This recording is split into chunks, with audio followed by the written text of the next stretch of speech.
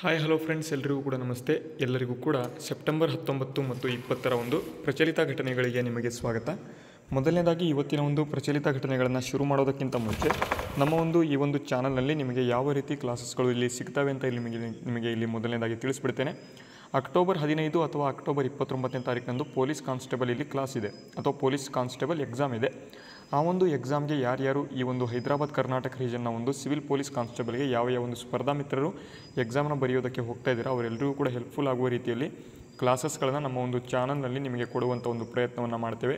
ಅದಕ್ಕಾಗಿ ವಿಡಿಯೋನ ಸ್ಕಿಪ್ ಮಾಡದೆ ಸಂಪೂರ್ಣವಾಗಿ ನೋಡ್ತಾ ಹೋಗಿ. ಮತ್ತು ಇಲ್ಲಿ ಈ ಒಂದು ಕರೆಂಟ್ ಅಫೇರ್ಸ್ ಕ್ಲಾಸಸ್ ಏನಿದೆ, ಅದನ್ನು ಪ್ರತಿದಿನ ಇಲ್ಲಿ ನಿಮಗೆ ಸಿಗ್ತಾ ಇರ್ತದೆ, ಅದನ್ನು ಮಿಸ್ ಮಾಡ್ಕೋಬೇಡಿ. ಓಕೆ ಇಲ್ಲಿ ಬನ್ನಿ, ಈಗ ಮೊದಲನೇದಾಗಿ ಯಾವ ರೀತಿ ಕ್ಲಾಸಸ್ ಸಿಗ್ತವೆ ಅಂತ ಇಲ್ಲಿ ನೋಡ್ಬಿಡೋಣ. ಎಕ್ಸಾಮಿನ್ ಕನ್ನಡ ಚಾನಲ್ನಲ್ಲಿ ಪ್ರಚಲಿತ ಘಟನೆಗಳಲ್ಲಿ ನಿಮಗೆ ಪ್ರತಿದಿನ ಯಾವ ರೀತಿ ಕ್ಲಾಸಸ್ಗಳು ಇಲ್ಲಿ ನಿಮಗೆ ಸಿಗ್ತವೆ ಅಂತ ನೋಡೋದಾದರೆ, ಇಲ್ಲಿ ಪ್ರತಿದಿನ ನಿಮಗೆ ಒನ್ ಲೈನರ್ ಕರೆಂಟ್ ಅಫೇರ್ಸ್ಗಳು ಸಿಗ್ತವೆ, ಪ್ರಚಲಿತವಾಗಿರ್ತಕ್ಕಂತಹ ಒಂದು ಬಹು ಆಯ್ಕೆ ಪ್ರಶ್ನೆಗಳು ಸಿಗ್ತವೆ, ಪ್ರಚಲಿತವಾಗಿರ್ತಕ್ಕಂತಹ ಪೇಪರ್ ಕಟಿಂಗ್ಸ್ಗಳು ಸಿಗ್ತವೆ, ಅದಾದ ಬಳಿಕ ಇಲ್ಲಿ ಭೂಗೋಳಕ್ಕೆ ಸಂಬಂಧಪಟ್ಟಂತೆ ಮ್ಯಾಪ್ ಪ್ರಶ್ನೆಗಳು ಸಿಗ್ತವೆ ಕೊನೆಯದಾಗಿ ಕ್ವಿಜ್ ಪ್ರಶ್ನೆಗಳು ಸಿಗ್ತವೆ. ಈ ರೀತಿಯಾಗಿ ನಮ್ಮ ಒಂದು ಚಾನಲ್ನಲ್ಲಿ ನಿಮಗೆ ಪ್ರಚಲಿತ ಘಟನೆಗಳಿಗೆ ಸಂಬಂಧಪಟ್ಟಂತೆ ಕ್ಲಾಸಸ್ಗಳನ್ನು ಮಾಡುವಂಥ ಒಂದು ಪ್ರಯತ್ನವನ್ನು ನಾವು ಮಾಡಿರ್ತೇವೆ.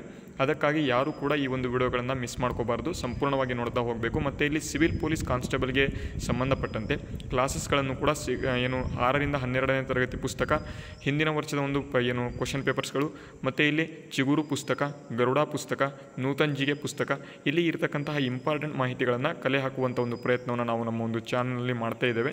ಅದನ್ನು ಕೂಡ ನೀವು ಪ್ರತಿದಿನ ಕ್ಲಾಸಸ್ ಏನು ಬರ್ತವೆ ಅದನ್ನು ನೋಡ್ಕೊಳ್ತಾ ಹೋಗ್ತಾ ಇರಿ. ಈಗ ಬನ್ನಿ, ಈಗ ಮೊದಲನೇದಾಗಿ ನಮ್ಮ ಒಂದು ಥಮ್ನೆಲ್ ಕ್ವಶನನ್ನು ನೋಡ್ಕೊಳ್ತಾ ಹೋಗೋಣ. ನೋಡಿ ಇಲ್ಲಿ ಇತ್ತೀಚೆಗೆ ನ್ಯೂಸಲ್ಲಿದೆ, ಹಾಕಿ ವಿಶ್ವ ರ್ಯಾಂಕಿಂಗ್ನಲ್ಲಿ ಮಹಿಳೆಯರಿಗೂ ಬಡ್ತಿ ಅಂತ ಇದೆ, ಮೂರನೇ ಸ್ಥಾನಕ್ಕೆ ಏರಿದ ಭಾರತ ಅಂತ. ಏನಪ್ಪ ಇದು ಅಂತ ನೋಡೋದಾದರೆ, ಇಲ್ಲಿ ಮೊದಲನೇದಾಗಿ ಪ್ರಶ್ನೆಯನ್ನು ನೋಡ್ಕೊಂಬಿಡೋಣ. ಹಾಕಿ ವಿಶ್ವ ರ್ಯಾಂಕಿಂಗ್ನಲ್ಲಿ ಭಾರತದ ಸ್ಥಾನ ಎಷ್ಟು ಅಂತ ಇಲ್ಲಿ ಕೇಳಿದ್ದೇವೆ. ಹಾಕಿ ವಿಶ್ವ ರ್ಯಾಂಕಿಂಗ್ನಲ್ಲಿ ಭಾರತದ ಸ್ಥಾನ ಎಷ್ಟು ಅಂತ ಕೇಳಿದ್ದೇವೆ.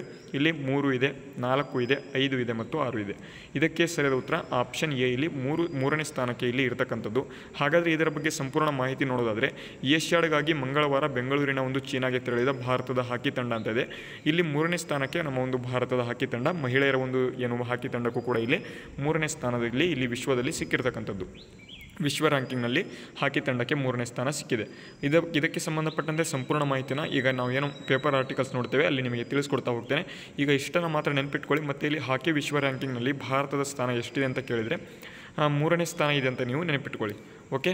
ಬನ್ನಿ, ಈಗ ಡೈರೆಕ್ಟಾಗಿ ಇವತ್ತಿನ ಒಂದು ಮ್ಯಾಪ್ ಪ್ರಶ್ನೆನ ನೋಡ್ಕೊಂಡ್ಬಿಡೋಣ ಪ್ರತಿದಿನ ಒಂದು ಮ್ಯಾಪ್ ಪ್ರಶ್ನೆಯನ್ನು ನಿಮಗಾಗಿ ಅಂತಲೇ ಕೊಡ್ತೇನೆ.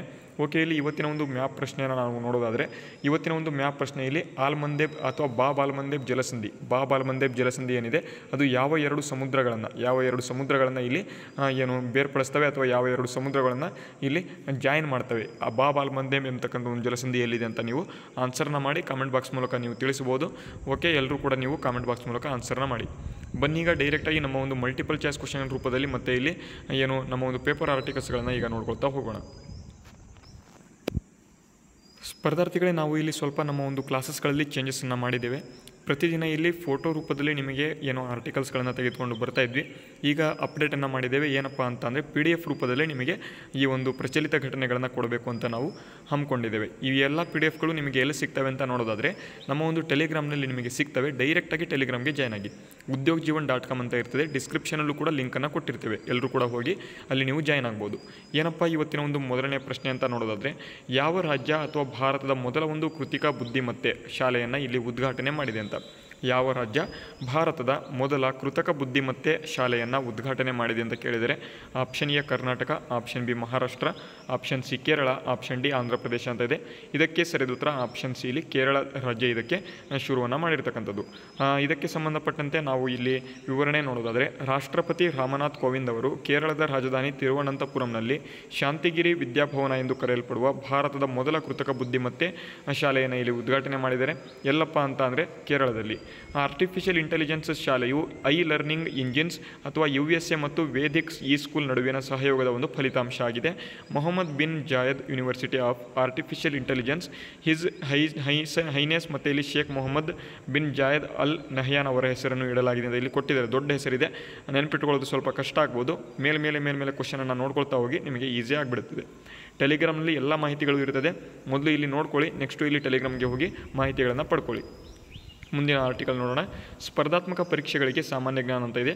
ಭಾರತದಲ್ಲಿ ಮೊದಲ ಮಾನವ ನಿರ್ಮಿತ ಪಕ್ಷಿಧಾಮ ಎಲ್ಲಿದೆ ಅಂತ ಕೇಳಿದರೆ ಕಿಯೋ ಲಾಡಿಯೋ ಎಂಬತಕ್ಕಂಥ ಒಂದು ಪಕ್ಷಿಧಾಮ ಇರತಕ್ಕಂಥದ್ದು. ಮುಂದಿನ ಪ್ರಶ್ನೆ, ವೇಗವಾಗಿ ನೂರ ಐವತ್ತೈ ನೂರ ಐವತ್ತು ಓಡಿಐ ವಿಕೆಟ್ ಪಡೆದ ಭಾರತೀಯ ಸ್ಪಿನ್ನರ್ ಯಾರು ಅಂತ ಕೇಳಿದರೆ, ಕುಲ್ದೀಪ್ ಯಾದವ್ ಎಂಬತಕ್ಕಂಥವರು ಮೊದಲ ಒಂದು ಭಾರತೀಯ ಸ್ಪಿನ್ನರ್ ಆಗಿರ್ತಾರೆ. ಭಾರತೀಯ ಕೋಸ್ಟ್ ಗಾರ್ಡ್ ಸಮುದ್ರ ಸಹಕಾರವನ್ನು ಹೆಚ್ಚಿಸಲು ಯಾವ ದೇಶದೊಂದಿಗೆ ಒಪ್ಪಂದಕ್ಕೆ ಸಹಿ ಹಾಕಿದೆ ಅಂತ ಕೇಳಿದರೆ ಫಿಲಿಪ್ಪೈನ್ಸ್ ಇಲ್ಲಿ ಸರಿದ ಉತ್ತರ ಆಗಿದೆ. ಮುಂದಿನ ಪ್ರಶ್ನೆ, ಡೇಟಾಬೇಸ್ ನವೀಕರಣವನ್ನು ಪ್ರಾರಂಭ ಮಾಡಿದ ರಾಜ್ಯ ಯಾವುದು ಅಂತ ಕೇಳಿದರೆ, ಡೇಟಾಬೇಸ್ ನವೀಕರಣವನ್ನು ಪ್ರಾರಂಭ ಮಾಡಿದ ರಾಜ್ಯ ಮಹಾರಾಷ್ಟ್ರ ಆಗಿದೆ. ಭಾರತದ ಮೊದಲ ಕೃಷಿ ದತ್ತಾಂಶ ವಿನಿಮಯ ಕೃಷಿ ದತ್ತಾಂಶ ನಿರ್ವಹಣಾ ಚೌಕಟ್ಟು ಎಲ್ಲಿ ಪ್ರಾರಂಭ ಮಾಡಲಾಗಿದೆ ಅಂತ ಕೇಳಿದರೆ, ಇದನ್ನು ಹೈದರಾಬಾದ್ನಲ್ಲಿ ಪ್ರಾರಂಭ ಮಾಡಲಾಗಿದೆ. ಚಂದ್ರಯಾನ ಮೂರರ ರೋವರ್ನ ಹೆಸರು ಏನು ಅಂತ ಕೇಳಿದರೆ, ರೋವರ್ ಸೇಮ್ ಪ್ರಜ್ಞಾನ್ ಅಂತ ಇದೆ. ಲ್ಯಾಂಡರ್ ಯಾವುದಪ್ಪ ಅಂತಂದರೆ ವಿಕ್ರಮ್ ಲ್ಯಾಂಡರ್. ಓಕೆ? ಭಾರತದ ಮೂನ್ ಮಿಷನ್ ಚಂದ್ರಯಾನ ತ್ರೀನ ಒಂದು ಯೋಜನಾ ನಿರ್ದೇಶಕರು ಯಾರು ಅಂತ ಕೇಳಿದರೆ, ಪಿ ವೀರಮುತ್ತುವೆಲ್ ಎಂಬತಕ್ಕಂಥವ್ರು. ಪಿ ವೀರಮುತ್ತುವೆಲ್ ಎಂಬತಕ್ಕಂಥವ್ರು ಯೋಜನಾ ನಿರ್ದೇಶಕರು ಆಗಿರ್ತಾರೆ. ಚಂದ್ರಯಾನ ಮೂರರ ಲ್ಯಾಂಡರ್ನ ಹೆಸರು ಏನು ಅಂತ ಕೇಳಿದರೆ ವಿಕ್ರಮ್ ಲ್ಯಾಂಡರ್ ಮತ್ತು ಇಲ್ಲಿ ಪ್ರ, ಪ್ರಜ್ಞಾನ್ ಎಂಬತಕ್ಕಂಥ ಒಂದು ರೋವರ್ ಆಗಿದೆ. ಯಾವ ವಿಧಿಯಲ್ಲಿ ಪಂಚಾಯತ್ಗಳಿಗೆ ಸ್ಥಾನಮಾನವನ್ನು ನೀಡಲಾಗಿದೆ ಅಂತ ಕೇಳಿದರೆ ಇನ್ನೂರ ನಲವತ್ತ್ಮೂರನೇ ವಿಧಿಯ ಪ್ರಕಾರ ಈ ಒಂದು ಪಂಚಾಯತ್ಗಳಿಗೆ ಸ್ಥಾನಮಾನವನ್ನು ನೀಡಲಾಗಿದೆ. ಡೆಲ್ಲಿ ಚಲೋ ಘೋಷಣೆ ನೀಡಿದವರು ಯಾರು ಅಂತ ಕೇಳಿದರೆ ಡೆಲ್ಲಿ ಚಲೋ ಎಂಬತಕ್ಕಂಥ ಒಂದು ಘೋಷಣೆಯನ್ನು ಪ್ರಪ್ರಥಮ ಬಾರಿಗೆ ನೀಡಿದವರು ಸುಭಾಷ್ ಚಂದ್ರ ಬೋಸ್ ಅವರು ಆಗಿರ್ತಾರೆ. ವಿಶ್ವ ಮಹಿಳಾ ದಿನವನ್ನು ಪ್ರತಿ ವರ್ಷ ಯಾವ ದಿನಾಂಕದಂದು ಆಚರಣೆಯನ್ನು ಮಾಡಲಾಗ್ತದೆ ಅಂತ ಕೇಳಿದರೆ ವಿಶ್ವ ಮಹಿಳಾ ದಿನಾಚರಣೆಯನ್ನು ಇಲ್ಲಿ ಪ್ರತಿ ವರ್ಷ ಮಾರ್ಚ್ ಎಂಟನೇ ತಾರೀಕಿನಂದು ಆಚರಣೆಯನ್ನು ಮಾಡ್ತೇವೆ.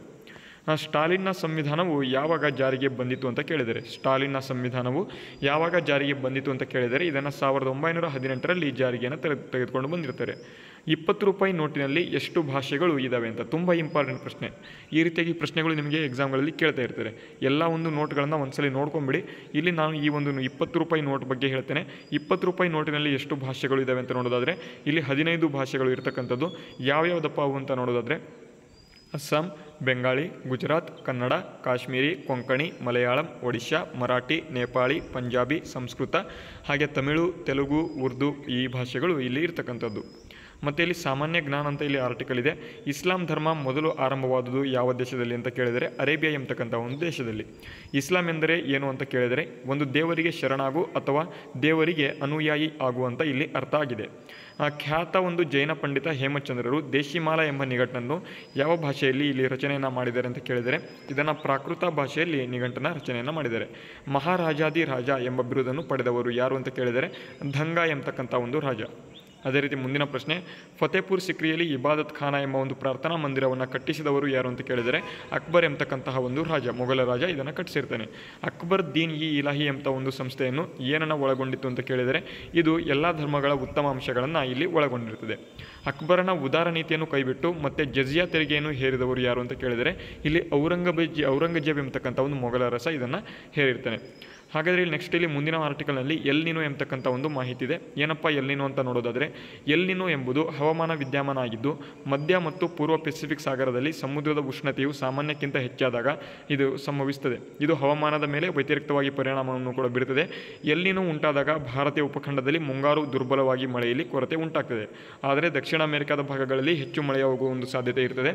ಪ್ರವಾಹ ಸ್ಥಿತಿಯಲ್ಲಿ ಉದ್ಭವ ಆಗಬಹುದು. ಅಂದರೆ ದಕ್ಷಿಣ ಒಂದು ಅಮೆರಿಕ ರೀಜನ್ನಲ್ಲಿ ಕರ್ನಾಟಕದ ಸದ್ಯದ ಒಂದು ಬರದ ಪರಿಸ್ಥಿತಿಗೂ ಎಲ್ನಿನೋ ಇಲ್ಲಿ ಪರಿಣಾಮ ಕಾರಣವಾಗಿರಬಹುದು ಅಂತ ಇಲ್ಲಿ ಎನ್ನಲಾಗಿದೆ.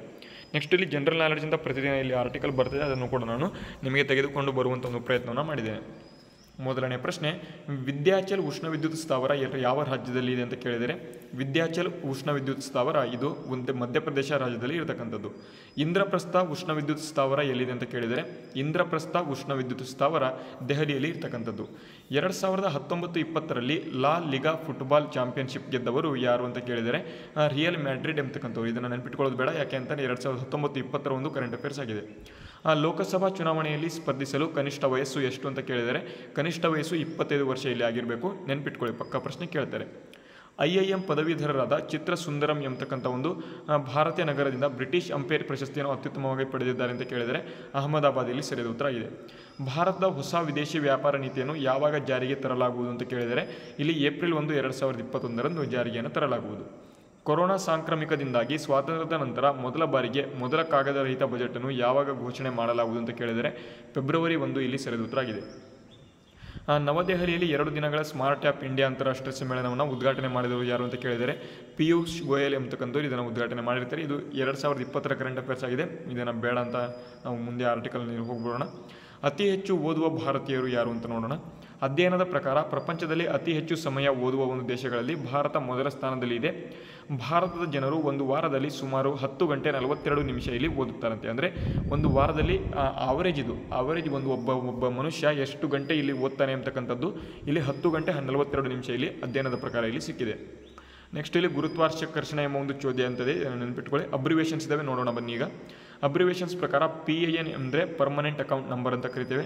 ಪಿ ಡಿ ಎಫ್ ಅಂತ ಅಂದರೆ ಪೋರ್ಟೇಬಲ್ ಡಾಕ್ಯುಮೆಂಟ್ ಫಾರ್ಮೆಟ್ ಅಂತ ಹೆಚ್ ಡಿ ಎಫ್ ಸಿ ಅಂತ ಅಂದರೆ housing development finance corporation SIM ಅಂತ ಅಂದರೆ subscriber identity module A T M ಅಂತ ಅಂದರೆ automated teller machine I F S C ಅಂತ ಅಂದರೆ ಇಂಡಿಯನ್ ಫೈನಾನ್ಷಿಯಲ್ ಸಿಸ್ಟಮ್ ಕೋಡ್ ಮತ್ತು ಇಲ್ಲಿ F S S A I ಅಂತ ಅಂದರೆ food safety standards and authority of India wifi ಅಂತ ಅಂದರೆ ವೈರ್ಲೆಸ್ ಫೈಡಲಿಟಿ ಅಂತಕ್ಕಂಥದ್ದು.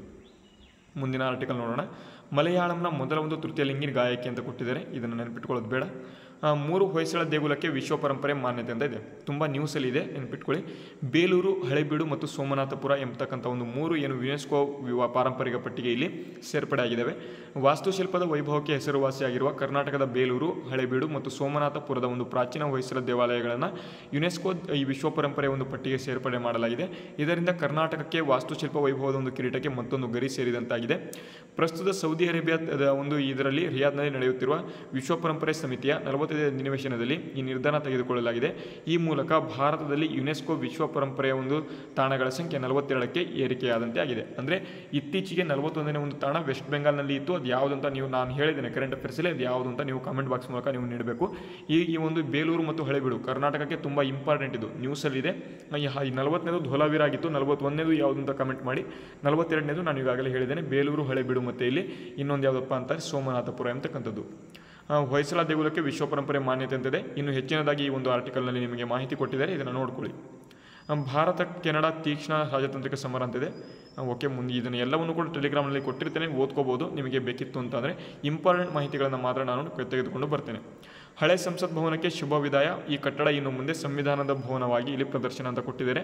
ಇನ್ನು ಮುಂದೆ ಇಲ್ಲಿ ಈ ಒಂದು ಹಳೆ ಸಂಸತ್ ಭವನ ಏನಿದೆ, ಇದನ್ನು ಸಂವಿಧಾನ ಭವನ ಅಂತ ಇಲ್ಲಿ ಪ್ರದರ್ಶನ ಮಾಡ್ತೇವೆ ಇಲ್ಲಿ ಕೊಟ್ಟಿದ್ದಾರೆ. ತೊಂಬತ್ತಾರು ವರ್ಷಗಳ ಕಾಲ ದೇಶದ ಶಾಸನ ರಚನೆಗಳಿಗೆ ಸಾಕ್ಷಿಯಾದ ನವದೆಹಲಿಯಲ್ಲಿರುವ ಹಳೆಯ ಸಂಸತ್ ಕಟ್ಟಡ ಮಂಗಳವಾರ ಇತಿಹಾಸದ ಒಂದು ಪುಟಗಳನ್ನು ಇಲ್ಲಿ ಸೇರಿತು ಅಂತ ಇಲ್ಲಿ ಕೊಟ್ಟಿದ್ದಾರೆ. ಹೊಸ ಸಂಸತ್ ಭವನದ ಒಂದು ಶುಭಾರಂಭ ಅಂತ ಕೊಟ್ಟಿದ್ದಾರೆ. ಇದನ್ನು ಹೆಸರು ಏನಪ್ಪ ಕೊಟ್ಟಿದ್ದಾರೆ ಅಂತಂದರೆ ಪಾರ್ಲಿಮೆಂಟ್ ಹೌಸ್ ಆಫ್ ಇಂಡಿಯಾ ಅಂತ ಇಲ್ಲಿ ಹೆಸರನ್ನು ಕೊಟ್ಟಿದ್ದಾರೆ. ಈಗ ಇತ್ತೀಚೆಗೆ ಹದಿನೆಂಟರಿಂದ ಇಪ್ಪತ್ತೆರಡನೇ ತಾರೀಕುವರೆಗೆ ಇಲ್ಲಿ ಮೊದಲ ಒಂದು ಏನು, ಈ ಒಂದು ಏನು ಸಂಸತ್ನಲ್ಲಿ, ಮೊದಲ ಸಂಸತ್ನಲ್ಲಿ ಅಧಿವೇಶನ ಅಂತ ಇಲ್ಲಿ ಕರಿತೇವೆ ಅಂತ ಇಲ್ಲಿ ಕೊಟ್ಟಿದ್ದರು ಸ್ಪೆಷಲ್ ಅಧಿವೇಶನ ಅಂತ ಇಲ್ಲಿ ಈ ಒಂದು ಏನು ಇದೇ ಪಾರ್ಲಿಮೆಂಟ್ನಲ್ಲಿ ಇದನ್ನು ಮಾಡ್ತಿದ್ದಾರೆ ಪಾರ್ಲಿಮೆಂಟ್ ಹೌಸ್ ಆಫ್ ಇಂಡಿಯಾ ಅಂತ ಇದನ್ನು ನಾಮಕರಣ ಮಾಡಿದ್ದಾರೆ.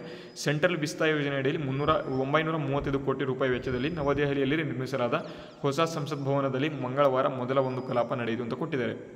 ಎರಿಕಾ ಪಾಕ್ನ ಮೊದಲ ಮಿಸ್ ಯೂನಿವರ್ಸ್ ಅಂತ ಕೊಟ್ಟಿದ್ದಾರೆ. ಇದನ್ನು ನೆನಪಿಟ್ಕೊಳ್ಳಿ. ಏಷ್ಯಾಡ ಆರಂಭೋತ್ಸವದಲ್ಲಿ ಪಟಾಕಿ ಸಿಡಿಸಲ್ಲ ಅಂತ ಇಲ್ಲಿ ಕೊಟ್ಟಿದ್ದಾರೆ. ನೆಕ್ಸ್ಟ್ ಇದನ್ನು ಬಿಡಿ. ಹಾಕಿ ವಿಶ್ವ ರ್ಯಾಂಕಿನಲ್ಲಿ ಮಹಿಳೆಯರಿಗೂ ಬಡ್ತಿ ಅಂತ ಇದೆ ನೋಡಿ ಇಲ್ಲಿ. ಆ, ಮೂರನೇ ಸ್ಥಾನಕ್ಕೆ ಏರಿದಂಥ ಭಾರತ ಅಂತ ಕೊಟ್ಟಿದ್ದಾರೆ. ಏನಪ್ಪ ಇದು ನ್ಯೂಸ್ ಅಂತ ಅಂದರೆ ಕಳೆದ ತಿಂಗಳು ಚೆನ್ನೈನಲ್ಲಿ ನಡೆದ ಏಷ್ಯನ್ ಚಾಂಪಿಯನ್ಶಿಪ್ ಟ್ರೋಫಿನಲ್ಲಿ ಅಜೇಯವಾಗಿ ಪ್ರಶಸ್ತಿ ಗೆದ್ದು ಬೀಗಿದ ಒಂದು ಭಾರತದ ಒಂದು ಪುರುಷರ ಹಾಕಿ ತಂಡ ಎಫ್ ಐ ಹೆಚ್ ವಿಶ್ವ ರ್ಯಾಂಕಿಂಗ್ನಲ್ಲಿ ಮೂರನೇ ಸ್ಥಾನಕ್ಕೆ ಬಡ್ತಿ ಪಡೆದಿರತಕ್ಕಂಥದ್ದು ಮಹಿಳೆಯರ ವಿಭಾಗದ ಒಂದು ಭಾರತ ತಂಡ ಏಳನೇ ಸ್ಥಾನಕ್ಕೆ ಏರಿದೆ. ಅಂದರೆ ಮೂರನೇ ಸ್ಥಾನಕ್ಕೆ ಪುರುಷರ ತಂಡ ಇದ್ದರೆ ಏಳನೇ ಸ್ಥಾನಕ್ಕೆ ಮಹಿಳಾ ತಂಡ ಇದೆ. ಇದನ್ನು ನೆನ್ಪಿಟ್ಕೊಳ್ಳಿ. ಓಕೆ ಇಲ್ಲಿ ಇದಾಗಿತ್ತು ಇವತ್ತಿನ ಒಂದು ಕರೆಂಟ್ ಅಫೇರ್ಸ್ ಈ ಒಂದು ಕರೆಂಟ್ ಅಫೇರ್ಸ್ ವಿಡಿಯೋ ನಿಮಗೆ ಹೆಲ್ಪ್ಫುಲ್ ಆಗಿದೆ ವಿಡಿಯೋಗೆ ಒಂದು ಲೈಕ್ ಮಾಡಿ, ನಿಮ್ಮ ಎಲ್ಲ ಸ್ನೇಹಿತರೊಂದಿಗೆ ವಿಡಿಯೋನ ಶೇರ್ ಮಾಡಿ ಸಬ್ಸ್ಕ್ರೈಬ್ ಮಾಡ್ಕೊಂಡಿಲ್ಲ ಮಾಡ್ಕೊಳ್ಳಿ. ಮುಂದೆ ಬರ್ತಕ್ಕಂಥ ವಿಡಿಯೋಗಳನ್ನು ತಪ್ಪದೇ ನೋಡ್ತಾ ಹೋಗಿ. ಮತ್ತು ಇಲ್ಲಿ ನಿನ್ನೆ ಒಂದು ಕರೆಂಟ್ ಅಫೇರ್ಸನ್ನು ಕೂಡ ಇದೇ ಒಂದು ವಿಡಿಯೋದಲ್ಲಿ ನಿಮಗೆ ಸಂಪೂರ್ಣವಾಗಿ ಮಾಹಿತಿಯನ್ನು ತಿಳಿಸ್ಕೊಟ್ಟಿದ್ದೇನೆ. ಓಕೆ ವಿಡಿಯೋ ಹೆಲ್ಪ್ಫುಲ್ ಆಗಿದೆ ಅಂತ ಅಂದ್ಕೊಂಡಿದ್ದೇನೆ ಪ್ಲೀಸ್ ಎಲ್ಲರೂ ಕೂಡ ಸಬ್ಸ್ಕ್ರೈಬ್ ಮಾಡ್ಕೊಳ್ಳಿ ಅಂತ ಹೇಳ್ತಾ ವಿಡಿಯೋನ ಮುಗಿಸ್ತಾ ಇದ್ದೇನೆ. ಜೈ ಹಿಂದ್, ವಂದೇ ಮಾತರಂ.